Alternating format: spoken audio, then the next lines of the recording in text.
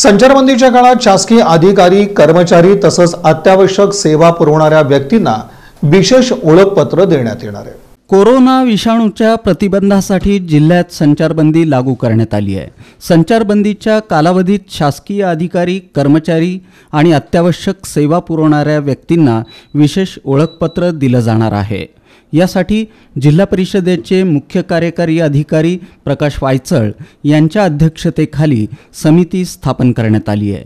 जिल्हाधिकारी मिलिंद शंभरकर यांनी याबाबतचे आदेश जारी केले.